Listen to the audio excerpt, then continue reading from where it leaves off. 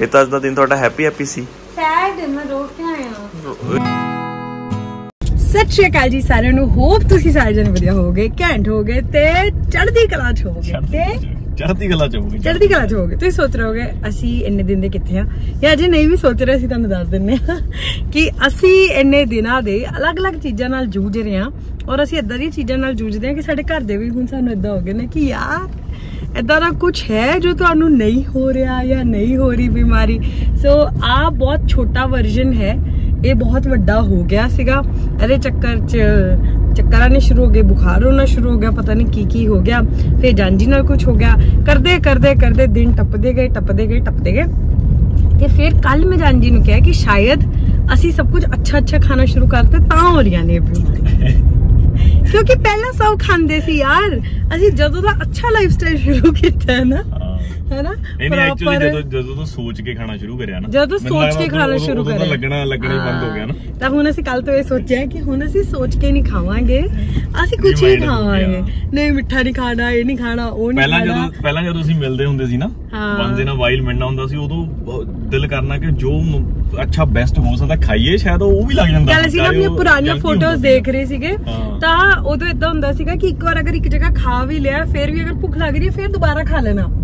ਹੁਣ ਅਸੀਂ ਇੱਕ ਵਾਰ ਵੀ ਪ੍ਰੋਪਰ ਸੋਚ ਸੋਚ ਕੇ ਖਾ ਰਹੇ ਹਾਂ। ਚਲੋ ਸੱਜਣੋ ਚਲੋ ਪਹੁੰਚੋ ਆਫਿਸ ਬਾਈ ਬਾਏ ਬੇਟਾ ਬਾਏ ਬੈਗ ਇਧਰੋਂ ਦੋਗੇ ਕਿ ਉਧਰੋਂ ਲਵਾਂ? ਮੈਂ ਦੇਖਦਾ ਇਧਰੋਂ ਟਰਾਈ ਕਰਕੇ। ਆ ਗਿਆ ਹੱਥ 'ਚ ਮੇਰੇ। ਯਸ ਆ ਤੁਹਾਡਾ ਬੈਗ ਜੀ ਤੇ ਆ ਤੁਹਾਡੀ ਟੇਡੀ ਦੇਖੋ ਟੇਡੀ ਮੇਡੀ ਚਾਹ। ਅੱਜ ਮੈਂ ਸਾਰੇ ਤੁਹਾਡਾ ਆਫਿਸ ਤੇ ਹੈ? ਚਲੋ ਕਿ ਬਾਈ ਬਾਏ ਦੋਸਤੋ ਮਿੱਤਰੋ ਸਾਥਿਓ ਫਿਲਹਾਲ ਆਪਾਂ ਆਏ ਆ ਜੀ ਸਖੀ ਵੈਡਿੰਗ ਪਲਾਜ਼ਾ ਪੰਚਕੂਲਾ। ਇਹ ਮੇਰਾ ਵੀਰ ਹੈ ਜੀ ਮੇਰਾ ਦੋਸਤ ਹੈ ਜਦੋਂ ਵੀ ਕੋਈ ਸ਼ੂਟ ਹੋਣਾ ਹੁੰਦਾ ਹੈ। ਵੀਰ ਹੋਣੀ ਹੀ ਆਪਾਂ ਨੂੰ ਸਪਾਂਸਰ ਕਰਦੇ ਨੇ ਹਰ ਜਗ੍ਹਾ ਦੇ ਉੱਤੇ। ਤੇ ਅੱਜ ਵੀ ਟਾਈਮ ਜਿਹਾ ਕੱਢ ਕੇ ਮੈਂ ਨਾ ਵੀਰ ਕੋਲ ਇਹੀ ਗੱਲ ਕਰਕੇ ਆਇਆ। ਮੈਂ ਕਿਹਾ ਯਾਰ ਵੀ ਮੈਨੂੰ ਦੇਖੋ ਵਾਈਫ ਦਾ ਤਾਂ ਹੋ ਗਿਆ ਜੀ ਪੂਰਾ। ਉਹਨਾਂ ਦਾ ਜੋ ਸ਼ੂਟ ਹੋਣਾ ਉਹਦੀ ਡਰੈਸ ਡਨ ਹੈ। ਸੋ ਇੱਥੇ ਤੁਹਾਨੂੰ ਐਨ ਨੰਬਰ ਆਫ ਵੈਰਾਈਟੀ ਮਿਲ ਜੂਗੀ ਜੀ। ਇਹਦੇ ਚ ਨਹੀਂ ਆਪਾਂ ਕੋਈ ਨਾ ਕੋਈ ਸਿਲੈਕਟ ਕਰਾਂਗੇ। ਐਸੇ ਤਿੰਨ ਚਾਰ ਪੀਸ ਦੇਖੇ ਨੇ ਆਪਾਂ ਨੇ। ਤੇ ਮੈਨੂੰ ਆਹ ਵਾਲਾ ਪੀਸ ਜ਼ਿਆਦਾ ਪਸੰਦ ਆਇਆ। ਸੋ ਦੇਖਦਾ ਹੁਣ ਕਿ ਫਾਈਨਲ ਕੀ ਹੁੰਦਾ। ਜਿਹੜਾ ਕਲਰ ਕੰਬੀਨੇਸ਼ਨ ਉਹਦੇ ਚ ਨਾ ਚ, ਉਹੀ ਡਿਟੇਲਿੰਗ ਦਿੱਤੀ। ਸੇਮ ਹੋ ਜਾਏਗਾ ਨਾ ਉਹਦੇ ਨਾਲ? ਬਿਲਕੁਲ।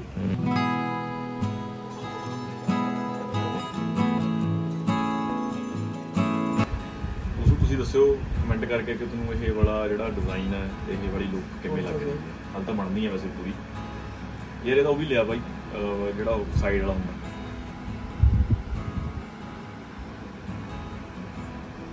ਪਰ ਮੈਂ ਨੂੰ ਪਾ ਨਹੀਂ ਕਲਿੱਕ ਕਰਾਂਗਾ ਸਿੰਪਲ ਫ੍ਰੀ ਡਰਾਈਵਰ ਇਹਦਾ ਸ਼ਾਲ ਹੈ ਜਿਹੜਾ ਵਾਈਟ ਹੈ ਤੇ ਦੂਜਾ ਸ਼ਾਲ ਵੀ ਦਿਖਾ ਦੇ ਮੈਨੂੰ ਅੱਛਾ ਕਲਰ ਰੈਡ ਦਿਖਾ ਦੇ। ਮਰੂਨ ਮਰੂਨ ਕਲਰ ਦਾ ਸ਼ੋਲਡਰ ਰੈੱਡ ਬੈਗ ਹਮ ਪਤਾ ਨਹੀਂ। ਕਿੱਥੇ ਵੈਸੇ ਬੈਗ ਕਿਸਤੇ ਨੇ?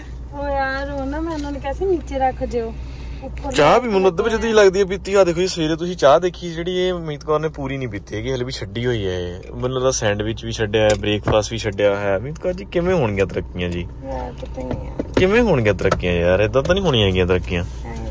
ਐਵੇਂ ਬਸ। ਇਹ ਥੋੜੀ ਜਿਹੀ ਸਾਈਡ ਵੀ ਦਿਖ ਰਹੀ ਹੈ ਨਾ ਤੁਹਾਨੂੰ, ਇਹ ਆਫਿਸ 'ਚ ਅੱਜ ਗਾਮਾਸਨ ਯੁੱਧ ਕਰਕੇ ਆਈ ਹੈ। ਦੋ ਦਿਨ, ਜਿਹੜੀ ਛੁੱਟੀ ਹੋਈ ਹੈ ਦੋ ਦਿਨ। ਹਨਾ? ਤਬੀਅਤ ਖਰਾਬ, ਮਤਲਬ ਕੋਈ ਕੋਈ ਫਾਇਦਾ ਨਹੀਂ, ਹਨਾ? ਚੱਲ ਕੋਈ ਨਹੀਂ। ਪਾਣੀ ਵਾਲੇ ਪੈਕ ਕਰ ਦਿਓ ਬਾਈ, ਤੀਨ, ਹੈ? ਨਾਰੀਅਲ, ਦਹੀਂ, ਲੱਸੀ ਘਰ ਲਿਆ ਕੇ ਰੱਖਤਾ। ਫਿਲਹਾਲ ਆਪਾਂ ਫਰੈਸ਼ ਫਰੂਸ਼ ਹੋ ਜਾਈਏ ਕਿਉਂਕਿ ਲੇਟ ਬਹੁਤ ਹੋ ਗਏ ਯਾਰ ਅਪਰੋਕਸੀਮੇਟਲੀ ਚਲੋ 8:30 ਪੌਣੇ ਨਾ ਹੋਵੇ ਘਰ ਰੋਟੀ ਖਾਵਾਂਗੇ, ਘਰ ਸੋਵਾਂਗੇ, ਬਹੁਤ ਟਾਈਮ ਹੋ ਜਾਂਦਾ ਹੈ ਆਫਿਸ ਦੇ ਵਿੱਚ ਹੀ। ਜੀ ਦੋਸਤੋ, ਨਵਾਂ ਦਿਨ, ਨਵੀਂ ਬਿਗਨਿੰਗ ਆਪਾਂ ਅੱਧ ਚੋਂ ਹੀ ਬਲੌਗ ਸਟਾਰਟ ਕਰ ਰਹੇ ਹਾਂ। ਸੋ ਸੰਡੇ ਨੂੰ ਜਿਹੜਾ ਸ਼ੂਟ ਹੈ ਜੀ, ਉਹਦਾ ਸਾਰਾ ਸਮਾਨ ਆਪਾਂ ਫੱਕੀ ਵੈਡਿੰਗ ਪਲਾਜ਼ੋ ਜਿਹੜਾ ਤੁਹਾਨੂੰ ਮੈਂ ਲਾਸਟ ਦਿਖਾ ਰਿਹਾ ਸੀਗਾ, ਆਪਾਂ ਨੇ ਡਨ ਕਰ ਲਿਆ ਜੋ ਉਸ ਦਿਨ ਆਪਾਂ ਦੇਖ ਰਹੇ ਸੀ। ਸਮਾਨ ਆਪਾਂ ਨੇ ਸਾਰਾ ਲੈ ਲਿਆ। ਹੁਣ ਰੱਖ ਰਹੇ ਜਿਹਨੂੰ ਆਪਾਂ। ਹੁਣ ਰੱਖ ਜੀ ਆਪਾਂ ਗੱਡੀ ਦੇ ਵਿੱਚ। ਸਮਾਨ ਆਪਣਾ ਡਨ ਹੈ। ਤੇ ਇਹੀ ਪਾਵਾਂਗੇ ਆਪਾਂ। ਇਹ ਤੁਹਾਨੂੰ ਦਿਖਾਉਂਗਾ ਬਾਅਦ ਚ ਖੋਲ ਕੇ। ਤੁਸੀਂ ਦੇਖ ਹੀ ਲਿਆ ਵੈਸੇ ਤਾਂ। ਤੁਹਾਨੂੰ ਦਿਖਾਉਂਗਾ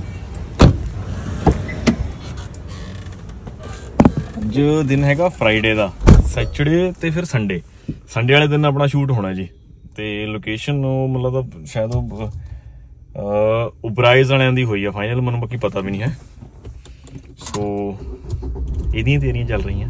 ਤੇ ਹੁਣ ਇੱਥੋਂ ਆਫਿਸ ਤੋਂ ਫ੍ਰੀ ਹੋ ਕੇ ਜੀ ਮੈਂ ਜਾਊਂਗਾ ਮਨਵੀਤ ਦੇ ਸੂਟ ਜਿੱਥੇ ਮਨਵੀਤ ਸੂਟ ਸਮਾਉਂਦੀ ਹੈ ਉੱਥੇ ਉਹਦੇ ਸੂਟ ਦੇ ਕੇ ਆਉਣੇ ਨੇ ਤਾਂ ਕਿ ਤਿਆਰੀਆਂ ਫਾਈਨਲ ਹੋ ਜਾਣ ਆਪਣੀਆਂ। ਨੀਸ ਕਮਿੰਗ ਹੋਰ ਵੀ ਸ਼ੇਰਾ?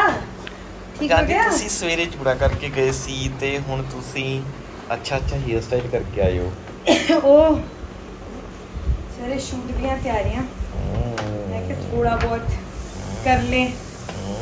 ਇਹ ਕੀ ਲੈ ਕੇ ਆਏ ਇੰਨਾ ਕੁਛ ਹਾਂਜੀ ਮੈਨੂੰ ਨਾ ਜਿਸ ਸਪਾਂਸਰ ਨੇ ਗਿਫਟ ਦਿੱਤਾ ਹੈ? ਸਪਾਂਸਰ ਦਾ ਲਾਸਟ ਡੇ ਸੀ ਹਮ, ਉਹਨਾਂ ਨੇ ਆ ਦਿੱਤਾ ਮੈਨੂੰ ਕੀ ਦਿੱਤਾ ਹੈ ਬੈੱਡ ਸ਼ੀਟ ਪਤਾ ਨਹੀਂ ਲੱਗਦਾ ਬੈੱਡ ਸ਼ੀਟ ਖੋਲੋ ਨਹੀਂ ਸਭ ਤੋਂ ਸਪੈਸ਼ਲ ਪਤਾ ਉਹਨਾਂ ਨੇ ਕੀ ਦਿੱਤਾ ਹੈ ਆ ਦੇਖੋ ਸਾਡੀ Oh, ਫੋਟੋ wow. ਪਿੱਛੇ ਦੇਖੋ ਮੈਸੇਜ ਪੜੋ Dear Manveet, for you is valuable contribution and trust at each step.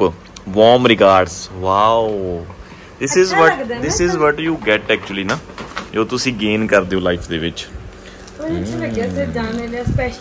ਚਲੋ ਓਪਨ। ਕਰੋ ਆਪਣਾ ਗਿਫਟ ਸਰ ਨੇ ਸਪੈਸ਼ਲੀ ਸਾਨੂੰ ਬੁਲਾਇਆ ਹਮ। ਸਰ ਕਹਿੰਦੇ ਤੁਹਾਡੇ ਲਈ ਗਿਫਟ ਲੈ ਕੇ ਆਏ।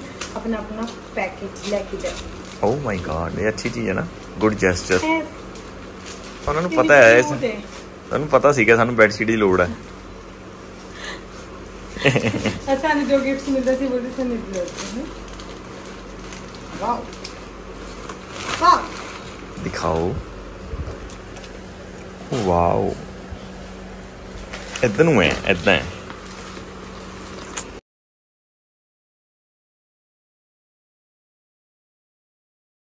ਜਸਪਾਲ ਸਰ ਕਰਕੇ। ਸਪੀਚ ਦਿੱਤੀ ਮੈਂ ਰੋਕਿਆ।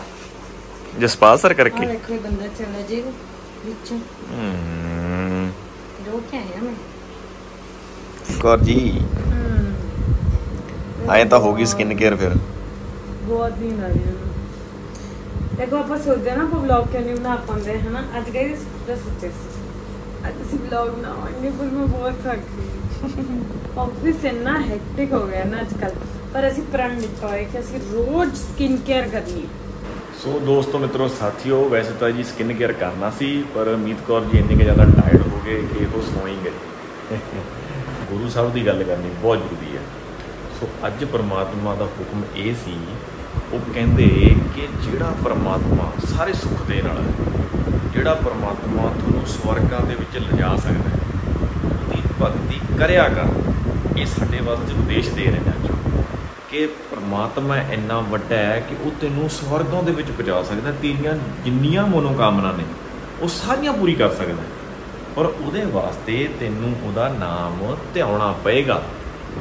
ਔਰ ਜਦੋਂ ਤੱਕ ਅਸੀਂ ਨਾਮ ਧਿਆਉਣਾ ਆਪਣੀ ਲਾਈਫ ਦੇ ਵਿੱਚ ਅਪਣਾ ਨਹੀਂ ਲੈਂਦੇ, ਉਦੋਂ ਤੱਕ ਸੁੱਖਾਂ ਦਾ ਖਜ਼ਾਨਾ ਜਿਹੜਾ ਸਾਨੂੰ ਨਹੀਂ ਮਿਲ ਸਕਦਾ। ਸੋ ਜੀ, ਪਰਮਾਤਮਾ ਦਾ ਨਾਮ ਜਪੀਏ। ਡੇਲੀ ਪਰਮਾਤਮਾ ਨੂੰ ਯਾਦ ਕਰੀਏ। ਸਾਡੇ ਹਰ ਟਾਈਮ ਜ਼ੁਬਾਨ ਤੇ ਵਾਹਿਗੁਰੂ ਦਾ ਨਾਮ ਹੋਣਾ ਚਾਹੀਦਾ। ਕਿਉਂਕਿ ਸਾਨੂੰ ਪਾਰ ਲਾਉਣ ਵਾਲੇ ਸਿਰਫ ਵਾਹਿਗੁਰੂ। ਸੋ ਜੀ, ਇਸੇ ਗੱਲ ਤੇ ਕਰਦੇ ਹਾਂ ਆਪਾਂ ਬਲੌਗ ਲੈਂਡ ਤੁਹਾਡਾ ਸਾਰਿਆਂ ਦਾ ਬਹੁਤ ਬਹੁਤ ਧੰਨਵਾਦ। ਸਾਰੇ ਜਣੇ ਆਪਣਾ ਰੱਖਿਓ ਜੀ ਧਿਆਨ। ਰੱਬ ਰੱਖਾ ਜੀ।